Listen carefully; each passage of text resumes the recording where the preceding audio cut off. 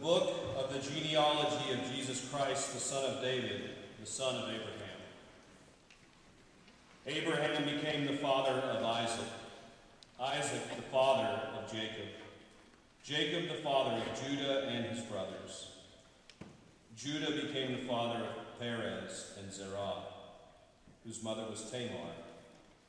Perez became the father of Hezron, Hezron the father of Ram, Ram the father of Aminadab. Aminadab became the father of Nahshon, Nahshon the father of Salmon, Salmon the father of Boaz, whose mother was Rahab. Boaz became the father of Obed, whose mother was Ruth. Obed became the father of Jesse. Jesse, the father of David, the king.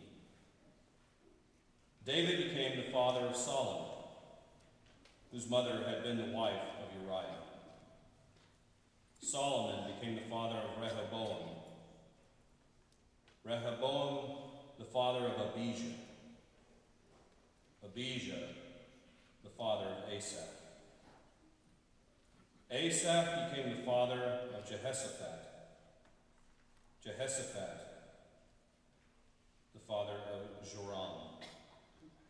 Joram, the father of Uzziah. Uzziah became the father of Jotham. Jotham, the father of Ahaz.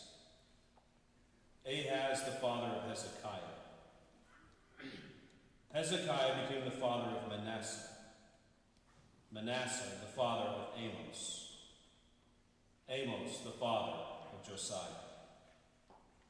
Josiah became the father of Jeconiah and his brothers at the time of the Babylonian exile. After the Babylonian exile, Jeconiah became the father of Shealtiel. Shealtiel, the father of Zerubbabel. Zerubbabel, the father of Abiud. Abiud became the father of Eliakim. Eliakim, the father of Azor. Azor, the father of Zadok. Zadok became the father of Achim. Achim, the father of Eliud. Eliud, the father of Eleazar. Eleazar became the father of Matthan. Matthan, the father of Jacob. Jacob,